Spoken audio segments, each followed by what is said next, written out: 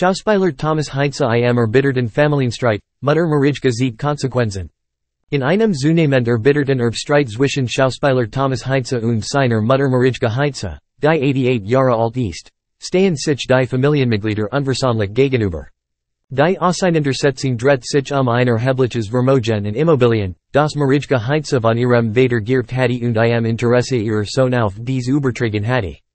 Allerdings halt sich Thomas Heinze nicht in die Vermänglich Vereinbarten Absprechen. Die 88 Jahrige Mutter ist geistig fit, aber aufgrund ihres Alters und Bedürfnisses nach Unterstützung im Alltag möchte sie in eine größere Wohnung sehen. Dazu Beabsichtigt sei, einige der Immobilien zu verkaufen und mit dem Erlös eine passende Wohnung zu erwerben. Doch Thomas Heinze und sein Bruder setzen sich gegen diesen Plan zur und versuchen, die Verkauf zu verhindern. Die Situation zwischen Thomas Heinze und seiner Mutter hat sich der Art verschlechtert, dass es zu einem heftigen Streit gekommen ist.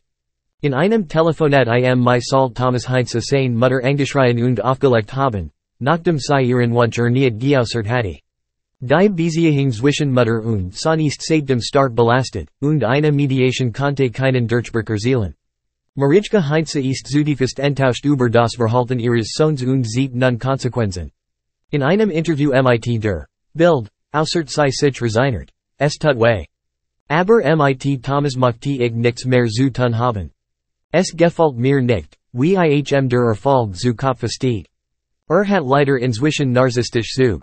Der erbitterte Familienstreit scheint eine tiefe Kluft zwischen Thomas Heinze und seiner Mutter zu hinterlassen und droht, die einst enge familiar Bindun unwiderruflich zu zerrütten.